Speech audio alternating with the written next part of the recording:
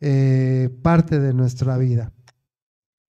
Nos da muchísimo gusto verlo, señor Raya, aquí de regreso, pues en la Ciudad de México ahora. Él se encontraba en el norte del país, pero ahora ya está en la Ciudad de México. Para nosotros era muy importante contar con su presencia porque hay un tema en la lucha libre del que se habla diario, pero no. O sea, sí, pero no. Las lesiones. La gravedad a la que puede llegar una lesión si no es bien atendida, si no es bien curada, si no es bien sanada. Desde tiempos anteriores, eh, en la generación de su señor padre, en paz descanse, pues como podían, se atendían y se hacían lo que podían para poder recuperarse. Pero platícanos cómo ha cambiado el tiempo en ese sentido y las condiciones para poder actualmente atenderse. Mira, desgraciadamente en el tiempo donde inicia la lucha libre, pues no había la atención que ahora tienen los luchadores eh, actualmente. Antes entre compañeros nos teníamos que eh, ayudar a, componernos, eh, si te zafaban un hombro, un codo, una rodilla, el mismo compañero abajo en el vestidor te lo acomodaba, el rival pues trataba de destrozarte a como de lugar, pero ya después entre los compañeros nos bueno, se ayudaban.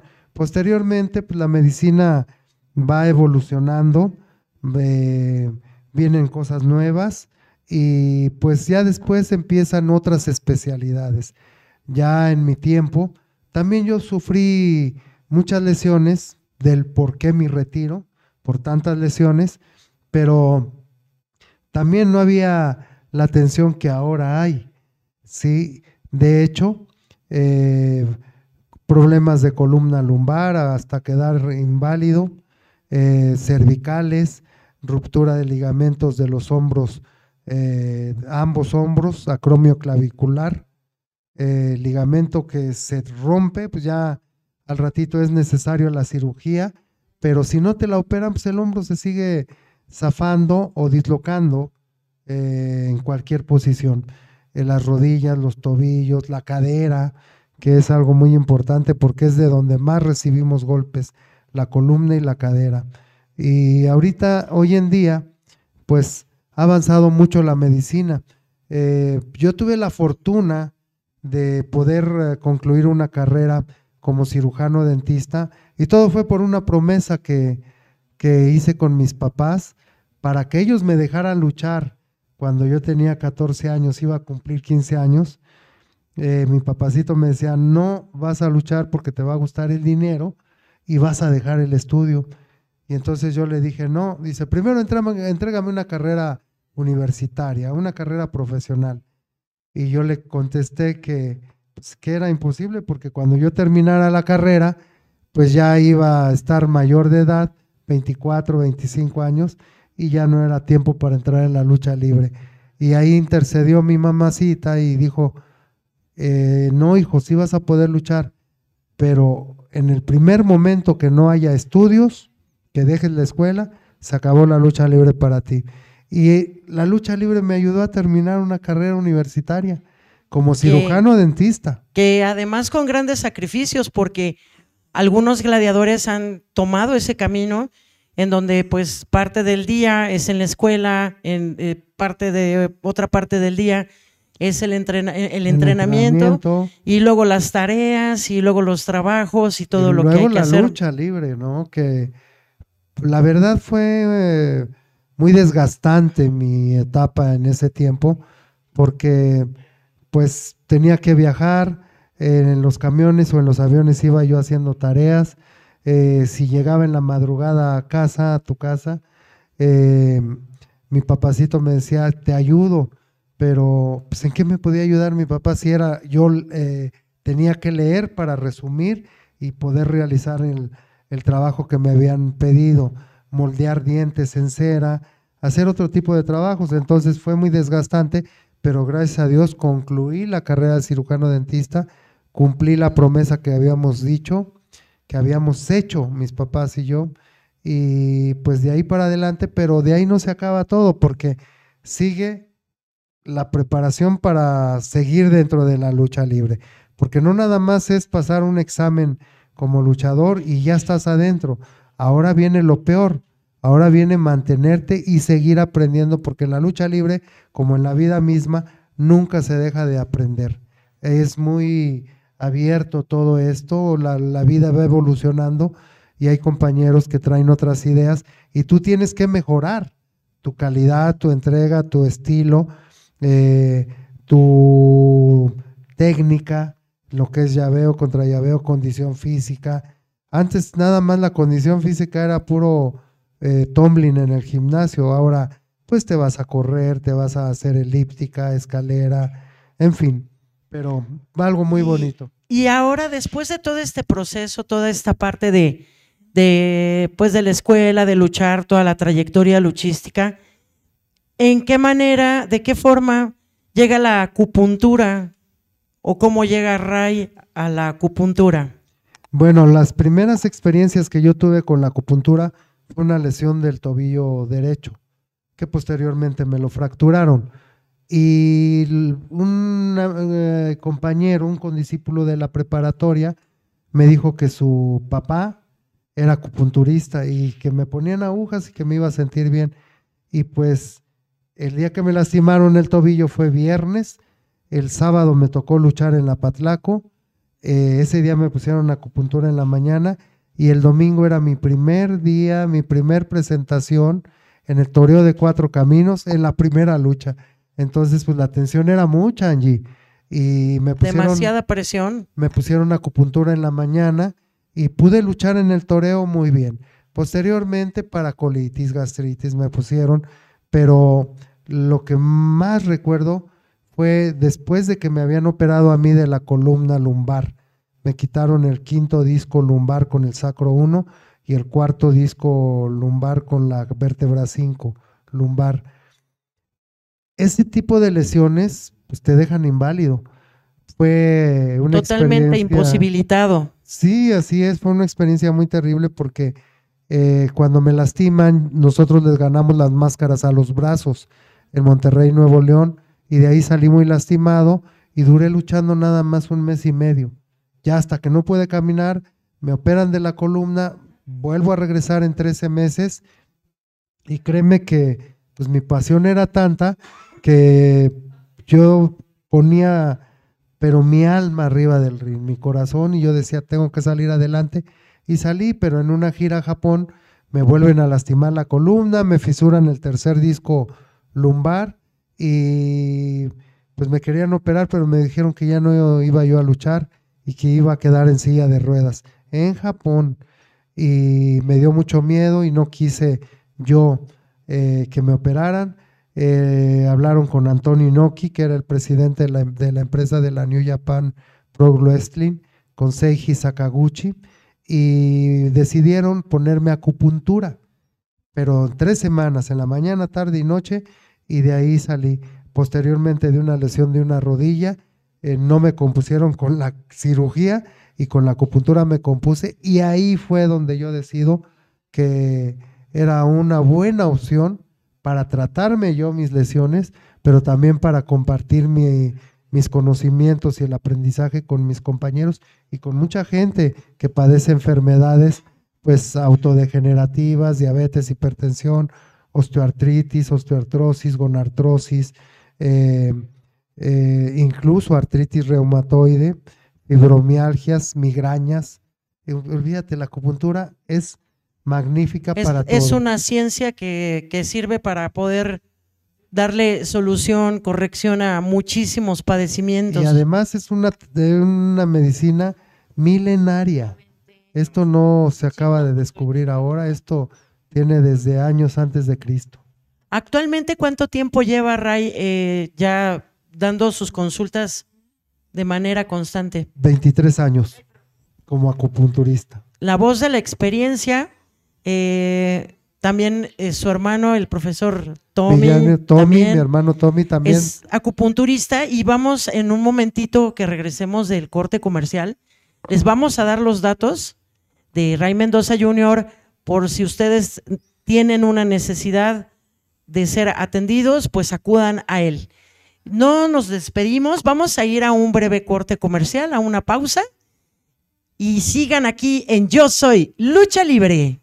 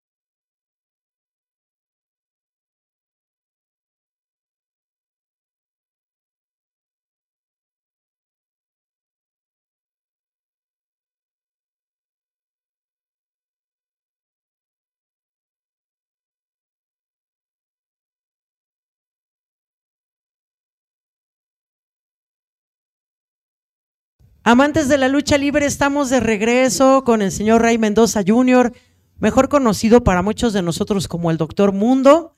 Gracias. Y tenemos pues a nuestro siguiente invitado que se acaba de incorporar a esta esquina, rudísima, porque es una esquina ruda, ¿eh? Japón, no me vas a decir que no. Él es un querido amigo, quiero presentárselos.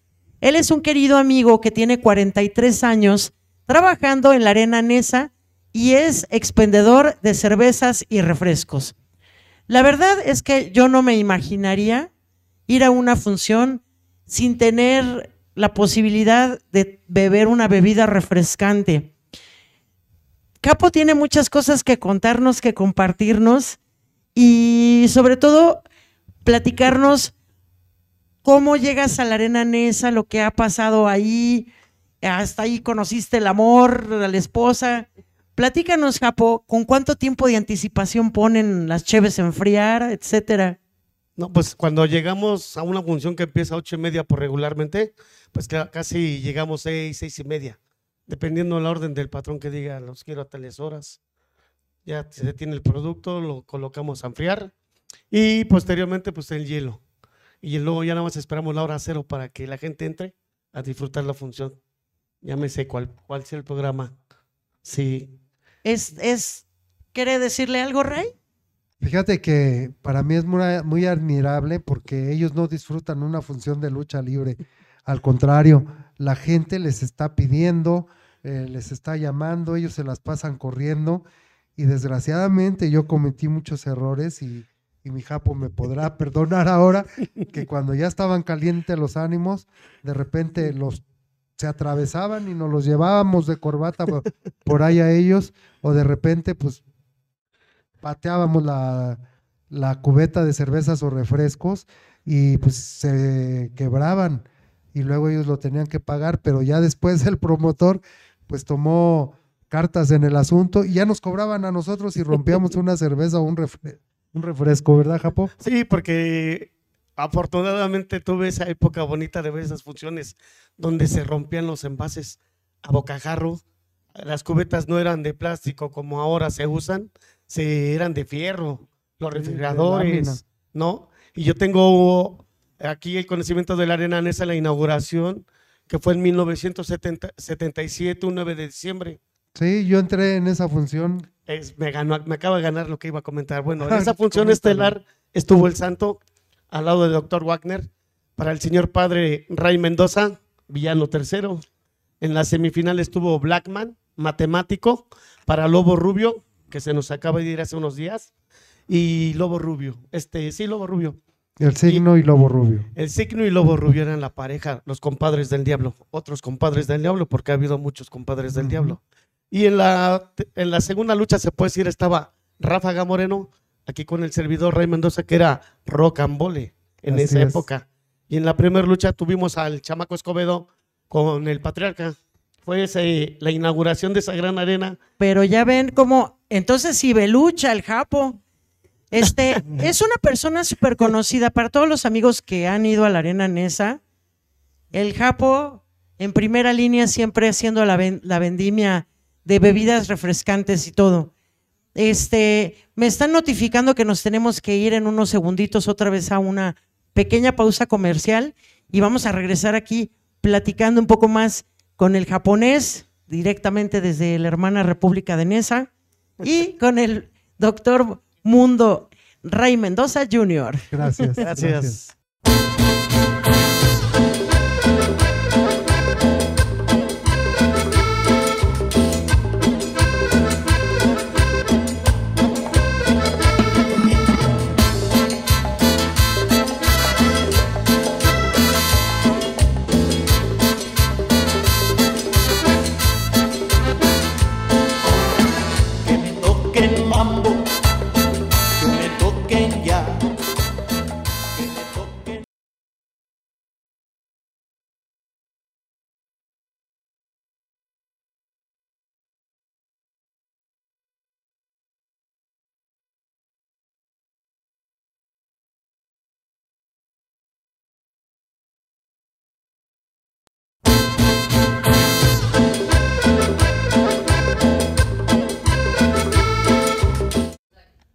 Amantes de la lucha libre, estamos de regreso.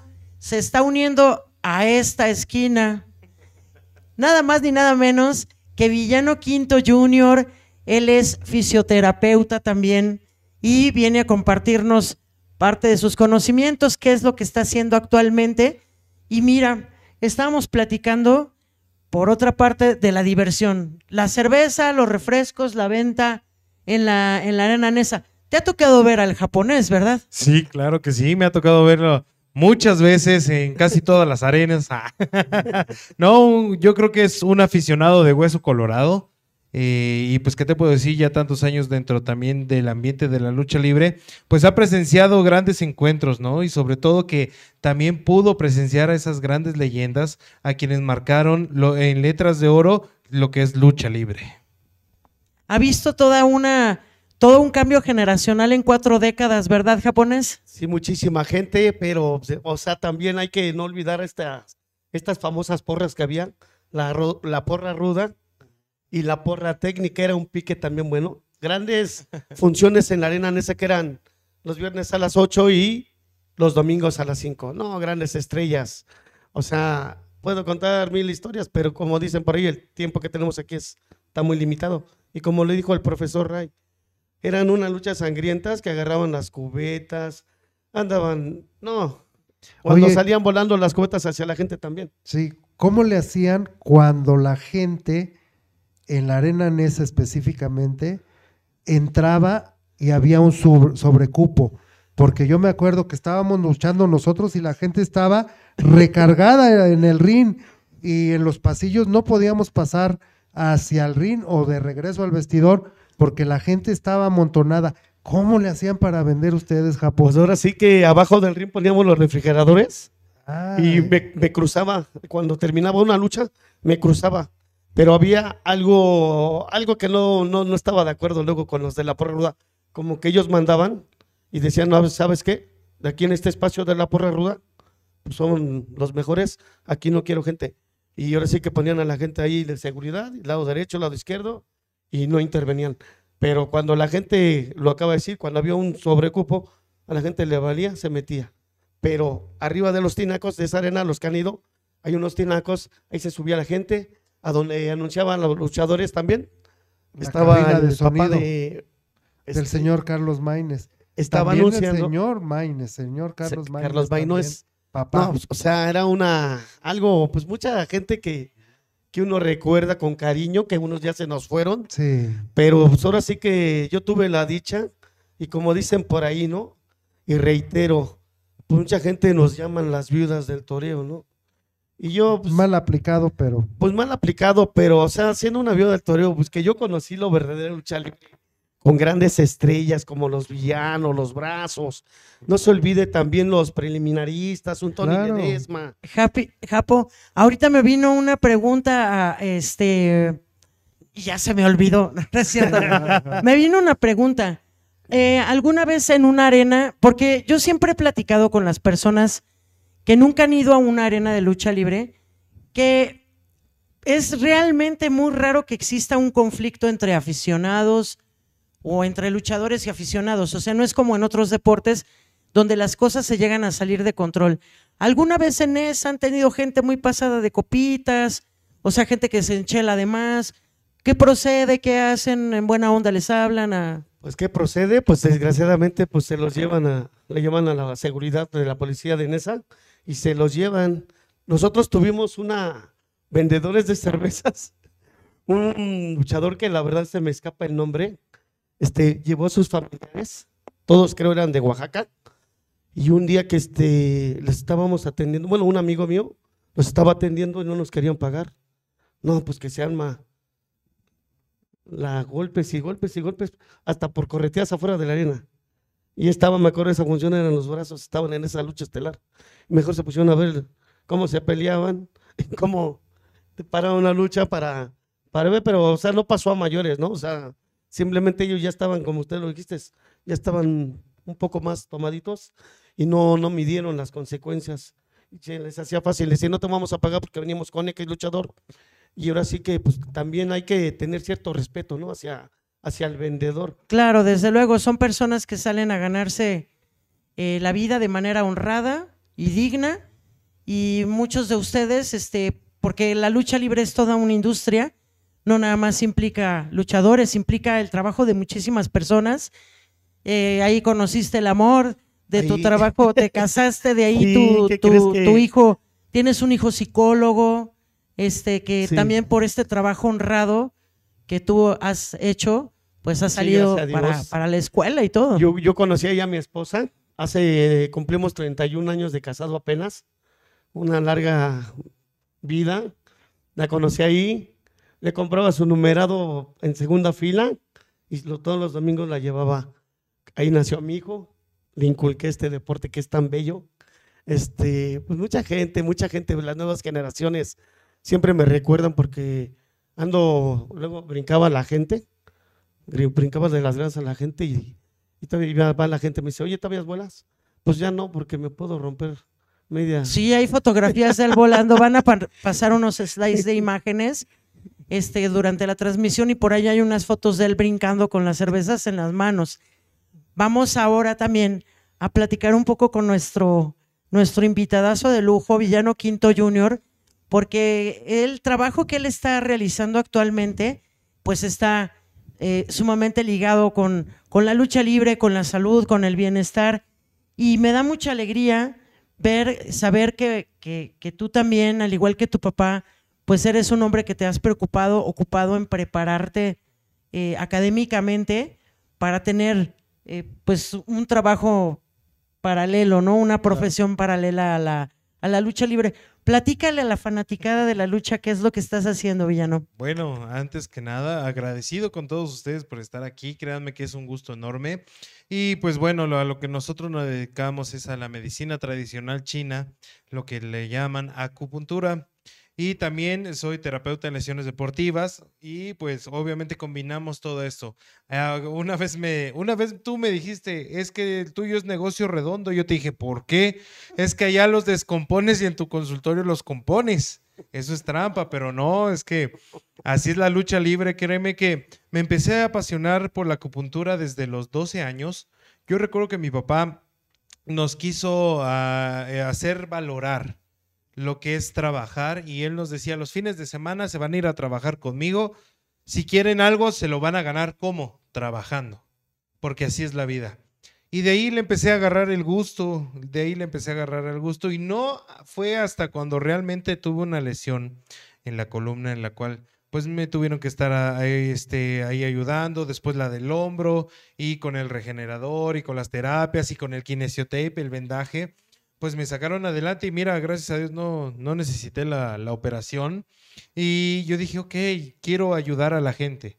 No, no nada más a los luchadores, porque claro que sí, atendemos a muchos compañeros, a muchos rivales, tenemos oportunidad de atenderlos y quedan al 100%. La prueba más fidedigna que tengo es mi, padre, ¿no? O sea, que con tantas lesiones y con la acupuntura se ha, se ha ido para arriba, se ha compuesto, entonces yo quise también ayudar a la gente. Me apasiona mi trabajo de la lucha libre así como me apasiona atender a mis pacientes. Es muy interesante todo lo que están realizando en pro de la salud de las personas, del bienestar. Y sobre todo, qué bueno que contar con presencia de persona- personalidades que en carne propia han sufrido de, de- de estas lesiones. Desafortunadamente así ha sido, pero han salido avantes. Eh, es, a mí me parecería muy importante que si llega a haber algunos atletas, aficionados, ¿qué medida preventiva le podrían recomendar a, a inclusive a luchadores que nos puedan estar viendo para que no dejen a la deriva Claro. su salud, su La, bienestar? la salud es lo, lo primero y es muy primordial también antes de realizar cualquier actividad, hacer un buen calentamiento, porque el no hacer un, calentamiento adecuado a nuestros deportes, ya sea atletismo, natación, fútbol americano, béisbol o lucha libre, tenemos que tener un previo calentamiento. ¿Por qué? Porque cuando tú haces un ejercicio en frío es más riesgoso o es más posible que puedas traer una lesión a tu cuerpo. Eso es lo primordial, tener un buen calentamiento. Yo recuerdo que mi padre siempre me decía, y más cuando estaba empezando con el nombre de Cortis, que tenía un mes, dos meses luchando, me decía, ¿por qué no calientes? Te vas a lastimar. Ponte a calentar y ponte a hacerte lagartijas y sentadillas y abdominales y otra vez lagartijas. Haz, haz se- seis series. Entonces, eso nos ayuda también a que subamos un poquito más calientes de las articulaciones, ligamentos, tendones, músculos, todo. Es muy, muy, muy importante siempre tener un calentamiento y en cuestión de que ya tengan una lesión, con mayor razón tienen que hacer el doble de calentamiento en la zona de la lesión. ¿Por qué? Porque está más frágil.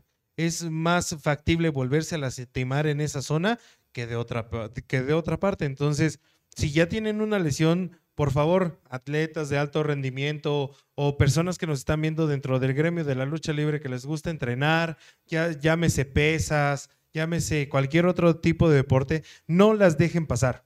¿Por qué? Porque el cuerpo siempre va a cobrar factura y tal vez ahorita están chavos, se sienten fuertes y ah, es un dolor y con una pastilla se me quita, pero realmente lo he visto yo con todos mis pacientes y con atletas de alto rendimiento que decía es que empezó con un dolor que me duraba dos días y se me quitaba. Y ahora son terapias que tienen que llevar ya de tres meses, cuatro meses, medio año, un año. Sí, para se poder va, se va haciendo, se va, cre- va creciendo esta bola de nieve, ¿no? Exactamente. Cuando no se le atiende a, a tiempo. Eh, actualmente ustedes, ¿en dónde están? ¿Tienen consultorio? En, aquí en la Ciudad de México, ¿verdad? Sí, yo ya me regresé de la ciudad de Monterrey. eh, falleció mi esposa Cheli Guajardo y me tuve que regresar a la Ciudad de México, donde tenía antes el consultorio. Mucha gente lo conoce. Ahí fue donde se quedó mi hijo, el villano Quinto Junior. Eh, estamos ubicados en San Borja, número 241, local G, esquina con Monte Albán, en la colonia, colonia Independencia, Alcaldía Benito Juárez. Está muy fácil llegar. Está, si conocen el Salón de la- Maraca, a tres cuadras, estamos ahí para, para que el público se ubique un poquito. Y que la colonia Independencia pues, está a un lado de la Narvarte, de la Vertis Narvarte. eh, Es una zona muy céntrica, Sí. muy... muy céntrica. Aparte tenemos varias vialidades que es como Acceso. Doctor Vertis y también eje 6, también tenemos eje 5. Justamente Lázaro estamos Cárdenas. cerca de estas este, avenidas principales, las cuales pueden llegar en metro, también pueden llegar, pueden llegar al metro Eugenia o metro División del Norte o también se pueden ir a Nativitas y caminar un poco. Realmente trolebús, todo queda cerca, gracias a Dios y pues también ahí, pues ya llevamos ya nueve años en ese consultorio. Nueve ¿verdad? años en ese consultorio. Ah, anteriormente estuvimos en otros locales que desgraciadamente pues nos los pedían porque iban a tumbar el local y hacer construcción de edificio. Pero ahí donde estamos ahorita, pues me siento, nos sentimos muy bien. Nos sentimos muy bien. Es eh, muy cómoda la, la llegada, el estacionamiento. Hay un estacionamiento a media cuadra. Pueden acceder eh, de cualquier lado. Les voy a dar los números de teléfono para que ustedes eh, cuando necesiten algo, requieran de un tratamiento de acupuntura o fisioterapia, eh, asistan con nosotros. Mi teléfono es 55 13 55 35 50. Personalmente yo los atiendo y les damos el día y el horario de su cita. ¿Y el otro teléfono, hijo? Es el 55 19 18 71 08. Lo voy a repetir: 55 19 18 71 08 con Villano Quinto Junior. Y ahí en cualquier de los dos teléfonos les vamos a dar sus citas. Espero puedan agendar sus citas. Trabajamos de lunes a domingo, o sea, de lunes a lunes no tenemos descanso. Lo de entre semana tenemos un horario de 11 de la mañana a 2 de la tarde y posteriormente de 5 y media de la tarde hasta las 8 de la noche. Los días sábado y domingo solamente trabajamos de 10 y media de la mañana hasta las 2 de la tarde. Pues ya tienen ustedes toda la información, es súper importante eh, el tema de, de la salud, del cuidado, del bienestar y que sean atendidos por verdaderos profesionales. Eso también es importantísimo. La acupuntura es una rama de la medicina completamente regulada, este, así que no es eh, de, ay, voy a hacerte un, un tratamiento y no. Y la fisiatría, pues implica varias este, metodologías para poder sanar a la gente, eh, curarla y, y ya tienen ustedes toda la información. Entonces, pues estamos aquí también hablando de la cervecita y los refrescos, las campales en Qué rico. este en- qué chavocho, Son las que faltaron ahorita. una, una, una cubetita aquí, ¿no? Es, es muy chistoso, tú le estabas comentando que qué pasaba con el público o entre el público. Mi papá, recuerdo que nos llevó al estadio del Cruz Azul y nos tuvimos que salir antes porque entre la gente se empezaba a pelear. Y es algo que yo, yo al menos en mis 15 años como luchador profesional, no he visto en, en ¿cómo se llama? En la fanaticada dentro de lo que es el ramo de la lucha libre, que se agarren a golpes como se agarran en el fútbol, como se agarran en el béisbol, como se agarran en cualquier otro deporte. Fíjate que aquí es más familiar, siempre tienen como esa conciencia. No, es que toda la, la otra actividad del fútbol también es familiar, pero no sé qué trae la gente en su cabeza. Y, y es lo más lamentable, porque van niños y los niños aprenden a eso de las barras. Vamos a hablar de nuestro amado deporte. Dejemos el fútbol soccer de lado. Nada más háblenme de, de la selección alemana. A, esto- a ellos no me los toquen. Arriba. Alemania. A ellos no me los toquen. Oye, Japo, cuéntanos una anécdota memorable, así que te venga a la mente. ¿Sabes qué? La arena estaba pletórica, el ambiente mejor imposible, eh, que, que, que te haya a ti quedado así en tu alma y en tu corazón, que hayan pasado el día 5 y, ay, Todavía sigues sigues extasiado. extasiado así. No, pues yo, este, en lo personal, así, pues ya en su decadencia de André Gigante, me, me tocó verlo. O sea, me tocó verlo y un lleno impresionante en arena Nesa. Aquí quiero hacer un paréntesis, o sea, para mí mi ídolo, o sea, cuando lo vi luchar, era este Blackman. Una persona bien, me gustaba, siempre me gustó ese señor. Incluso tengo una máscara de él y no muchos recuerdos, pero sí, esa, esa función de André Gigante, bueno, la verdad, fueron muchas, pero esa sí me quedó marcado. Me quedó marcado porque decías, bueno, cómo es impresionante este señor que está, les digo, les repito, se, se subía a la gente hasta las lámparas, a los tinacos, atrás arriba de la cabina, se quedaba gente afuera. No, no, no. Y aquí yo quiero hacer un mención así, así pequeñito. Tú lo acabas, tú acabas de ir a un evento de esas mujeres. Yo quiero hablar un poquito de esas mujeres luchadoras. Un Irma González, un Irma Aguilar, Pantera Sureña, Chela Salazar, Vicky Carranza, Estela Molina, Marina Rey, India Shux, La Marquesa, La Venus. O sea, infinidad de mujeres que eh, para mí en mi época me dejaron plasmados, ¿no? Porque a diferencia de ahora, pues no, no, no es lo mismo. No es lo mismo porque se manejan diferentes cosas que si se menciona, pues entraríamos en una polémica muy pesada. Así Pero, o sea, esa época, para mí, toda esa po- época del toreo y lo que viví en la arena Nesa, para mí fue algo, fue algo grande. Lo que pasa es, para los amigos que no saben, las programaciones del Toreo de Cuatro Caminos extinto, eh, es, ese elenco de luchadores eran programados en la Arena Nesa.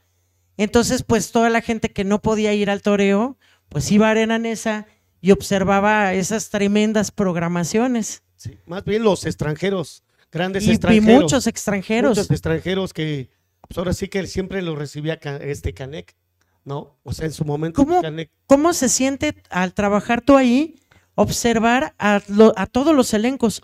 Porque Arena Nesa, pues llega AAA, llega elenco del Consejo, llegan independientes, llegan de muchas promotoras. ¿Cómo, cómo te sientes de poder eh, a veces eh, presenciar, ¿no? Un poco de, de de, todo. todo. un poco de todo, pues, este, pues repito, ¿no? O sea, cada quien tiene su estilo de luchas, o sea, sus programaciones, luchadores nuevos que traen otras cosas, y no es lo mismo. O sea, para mí, yo vuelvo a recalcar, me quedo con la época dorada del toreo de Cuatro Caminos, porque fueron, la verdad, donde estuvieron los mejores, la verdad. Un solitario, un ángel blanco, los villanos, los brazos, Ray Mendoza, René Guajardo, el perro aguayo. Una gran, una, una lucha que me tocó ver así, también fue una de perro aguayo con, con el señor Guajardo, que uh, o sea, no, no, o sea, Bueno, te que quedabas, hablando de o sea, mayores. o sea, pasó monstruos de la lucha libre que les llaman, que la verdad, con todo respeto, comparando a los nuevos luchadores de, o sea, con estelaristas de AAA, llámese consejo, o sea, la verdad no, no, no, no, no son comparados, la verdad, no, no, nunca le van a llegar, para mí, mi opinión, ¿no?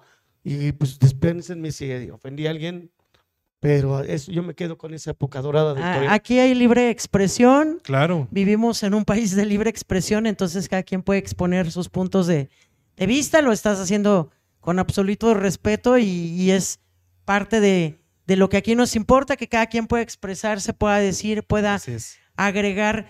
¿Tú- a- ¿Te gustaría agregar algo más en referencia al trabajo que están realizando? Eh, consejo para, para, para la gente. Eh, pues miren, yo, ¿qué les puedo decir? Yo crecí viendo a mi padre contra unos misioneros que para mí eran unos desgraciados porque le pegaban a mi papá. Este, eh, eh, ver a varias tercias que eran muy recias, muy duras, ver a mi papá llegar a la casa todo lastimado. Y pues bueno, ahora con toda esa escuela y con todo lo que vivimos nosotros, mi hermano Rocambole Junior y yo siempre tratamos de tener esa esencia, que no se pierda. La lucha recia, la lucha dura, ras de lona, de esas veces que ya mm, sientes que ya no te entra el aire, pero quieres entregar más. Eso es lo que a mí me gusta. Desgraciadamente ahora tocan muchos chavos que pues andan volando, andan haciendo otro tipo de cosas muy respetable, pero pues cuando ellos se cansan es cuando nosotros aprovechamos y los doblamos y nos dicen, oye, es que se ven muy superiores a ustedes a ellos. ¿Por qué? Porque gracias a Dios tuvimos un ejemplo en casa, en carne propia, que siempre nos hizo valorar y que nos hizo y que nos enseñó lo que es la verdadera lucha libre. Para nosotros nunca fue miel sobre hojuelas. Todos piensan que por traer el nombre de Villano Quinto Junior me lo dieron así nada más. Pero yo quiero decirles que no. Eh, de hecho, mi papá no quería que fuéramos luchadores profesionales. Él no quería y nosotros iniciamos en la lucha a escondidas. Y Ha de cuando ser- se enteró, Pero ha de ser sumamente difícil. eh, pienso yo, yo no vengo de familia de luchadores, no tengo familiares en la lucha libre. Este, pero quiero suponer que, que ser junior ha de ser difícil, porque, por ejemplo, el papá de usted, pues era una tremenda luminaria, ¿no? O sea, de, de los personajes más emblemáticos de toda la historia de la lucha libre mexicana, el señor Ray Mendoza. Y luego usted, pues ser un junior, eh, pienso que es, es muy alta la vara, ¿no? O sea, es muy difícil, es muy difícil. Nunca nos vamos a comparar. Simplemente somos diferentes personas, ¿no? Aunque seamos de la misma familia, no podemos tener el mismo desempeño que ellos lo, lo tuvieron. ¿Por qué? Porque cada quien debe de ser singular. Yo no puedo exigirle a mis hijos que hagan lo que yo hice, que mejor hagan lo que ellos saben hacer, pero que lo hagan bien para que apasionen a este público. Asimismo lo hizo mi padre con nosotros y créeme que, que fue una táctica, una medicina muy buena para lograr eh, entrar con ese público tan exigente en ese tiempo porque era muy exigente el público. Si no te veían luchar a ras de lona, te empezaban a chiflar.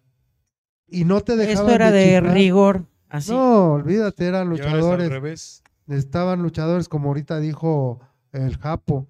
Pues para mí me tocó con Blackman una lucha de campeonato en la arena Nesa que se quedó la gente afuera. Olvídate, eso fue en 1979. Esa, esa lucha la recuerdo bien porque ya fue la cuarta lucha que yo tuve con él y empatamos en tres y me ganó en dos. En la arena Nesa y me ganó en Naucalpan. Y en las otras tres ya no. Pero imagínate compartir todo el escenario con, con luchadores estelares donde les aprendimos nosotros algunas cosas. Por ejemplo, hablabas de René Guajardo. René Guajardo a mí me obligó a hacer muchas eh, cosas que, que no estaban en mi repertorio. ¿Por qué? Porque me decía, usted tiene que ser un luchador serio, luche, entréguese, no haga reír al público y si va a pegar, pegue así, o sea, efectivo. Y entonces, ahora yo con mucha tristeza puedo ver que esto ha degenerado. No ha evolucionado, sí hay una evolución siempre, pero esto ha degenerado.